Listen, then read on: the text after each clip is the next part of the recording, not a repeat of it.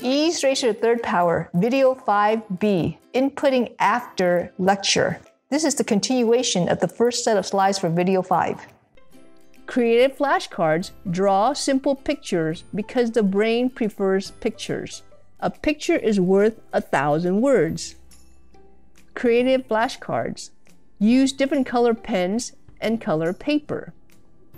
Colors will give your brain hints to the meaning of the word. For example, a simple yellow sun instead of the letter O and a green tree instead of the letter T will help to remember the meaning of photosynthesis. Use color to group words. For example, green paper for words that are related to photosynthesis. Creative flashcards. Use different font types such as red color, bold, and capital letters if it's important.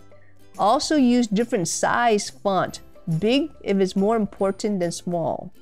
In this example, you see centripetal force shown as a picture with century as bold red font. Creative flashcards. Create your own font. Here we use solid purple dots to write the letter S to help you remember that Staph aureus is gram-positive cocci and it causes skin infections. Creative flashcards. Write your word anywhere on the card. For example, write noble gas on the right side of your card because that's where they're found on the periodic table. Creative flashcards. Turn your card vertical instead of horizontal. For example, with an anatomy word like brachial, if you turn your card vertical, you can imagine a body laid out standing up. And now you can write your word brachial where the arm would be. Creative flashcards. You will remember more than something someone else made because your brain made connections while you made these cards. With pre-made flashcards, your brain will have less time to process the info because you did not make them and thus you have fewer connections. Complex memorization technique. Story or linkage is good to remember a list or a cycle. A story is created with a series of events associated with your list or cycle that you must know. Story or linkage by pathway. Link the new words to a familiar path through a specific place you know well, like your house, the longer your list, then the more stops you will have along the path. In this example, we will have six stops, starting at the door and running through the living room. Story or linkage by pathway. Example, I will link this to the first six cranial nerves, one olfactory, two optic, three oculomotor, four trochlear, five trigeminal, and six abducens story or language by pathway, I would link number one, which is olfactory, at the door, with associating with the smell of bread from olfactory. Number two would be the coffee table, which is optic.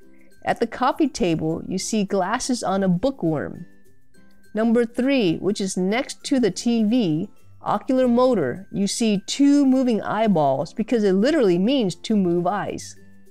Number four would be at the TV, trochlear, that is, throw a ball breaking the TV.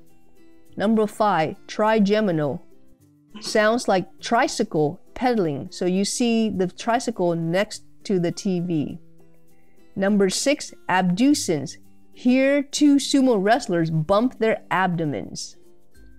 These linkages use associations to make crazy, vivid, and unusual connections Try using as many of the senses as possible. It seems complicated at first, but it gets easier with practice. In the example, number one, which is olfactory, you use smell. Number three, which is oculomotor, you use sight. Number five, trigeminal, you use a sense of touch. And number six, abducent, you use a sense of hearing. Story or linkage freestyle. Write your own story using the tips already mentioned and creativity to associate the list or cycle to the events in your story. Brain rule Start inputting within 24 hours after lecture while the contents are still fresh in your mind. Brain rule. Rule of seven. Input seven items plus or minus one at a time because inputting too much will overwhelm the brain. If using flashcards, go through six to eight cards at a time, not the entire stack. Brain rule Input a small chunk of one lecture at a time, like seven items, to space out your studying. Study daily to prevent the materials from piling up. Be creative. Combine these different tools and tips to make your own mnemonics. It's okay to make them silly, unusual, or personal. This makes learning fun, fast, and easy because you created it. Your brain will remember more easily what you have created as compared to what someone else has created. The first time you try these techniques will take you the longest, so start practicing now. What's next? Well, now you're ready for video 6, outputting before exam.